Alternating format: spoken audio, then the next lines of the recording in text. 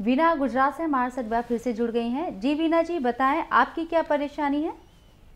मेरी बेटे जी ये परेशानी है कि मेरे पाँव बहुत दुखते हैं। मैंने ऑपरेशन भी कराया है पर मेरे को वो रास नहीं आया। बहुत मेरे पाँव दुखते हैं। और एक पाँव में राइट वाले में तो सूजन आ जाती है बेटे जी। जी। आपकी उम्र बताएँ। मेरी उम्र चौहत्तर साल है। चौहत्तर साल। अच्छा देखिए बहुत आप पर ऊपर वाले की मेहरबानी कि आपको चौहत्तर साल में सेहतमंद रखा। और देखिए, हम और आप जैसे लोगों को ऑपरेशन नहीं कराना चाहिए। इस उम्र में ऑपरेशन 99.9 परसेंट फ़ायदा नहीं करते। जैसे आपने ऑपरेशन कराया, लेकिन फ़ायदा कुछ नहीं हुआ। आप मुझे दो चार महीने दीजिए। दो महीने ज़्यादा से ज़्यादा चार महीने। और या यूँ कहिए कि एक महीना दीजिए। एक नुस्खा बता रहा हूँ, वो आप शुरू करें। देखिए, छोटी हड़ छोटी हड़ लीजिए, सौ ग्राम।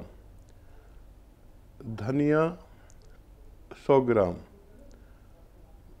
मेथी सौ ग्राम और अलसी सौ ग्राम। ये तो सब आपके किचन में मिल जाएँगे या बहुत आसानी से मिल जाएँगे। एक गौन में अक्सर आजकल उसका परिचय कराता हूँ। वो काफ़ी महँगा आता है और बहुत मुश्किल से मिलता है मिलता है तो नकली मिलता है। अ, तो उसकी पहचान ये है कि गोंद छोटा छोटा होता है जो भी गोंद महिलाएँ जानती है वो छोटा छोटा होता है ये बड़ा बड़ा होता है।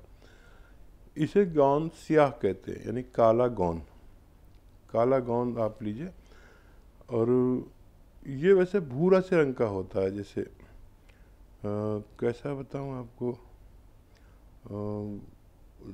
कहने के लिए काला होता है लेकिन देखने में ब्राउन होता है। और सबसे ख़ास बात यह है कि ये इस कदर कड़वा होता है कि अगर आपने एक चुटकी ज़बान पर रख लें तो इतना कड़वा मुँह हो जाएगा कि आपको कुछ ना कुछ फौरी तौर पर खाना पड़ेगा। तो ये इसकी पहचान बता रहा हूँ ताकि आपको कोई नकली ना दे दे। तो ये नस्खा लीजिए। जैसे मैंने फिर दोहरा देता हूँ।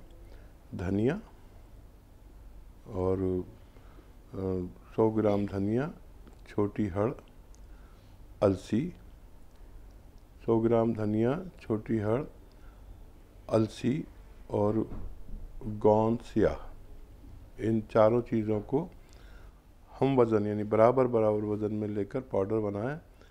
एक ग्राम सुबह, एक ग्राम शाम। खाने के बाद पानी से लें, दूध से लें, जूस से लें, जैसा आपको आसानी हो। अच्छा पाँच छः दिन के बाद आपको फ़ायदा शुरू होगा, इतना याद रखना। आपको दर्द होता है, दर्द की दवा ले सकते हैं, इसके साथ भी ले सकते हैं, एलोपैथिक दवा ले सकते हैं। अच्छा एक महीने में अगर आपको 20-30 परसेंट फ़ायदा हो तो फिर आप इसको दो चार महीने भी इलाज कर सकते हैं। एक महीने में इतना फ़ायदा ज़रूर हो जाता है लोगों को, बेशतर लोगों को, कि एलोपैथिक दवा छूट जाए, बगैर उसके आप उसे बर्दाश्त कर सकते हैं। तो ये नुस्खा लीजिए, मेरी दुआ है कि आपको ऊपर वाला सेहतमंद रखेगा।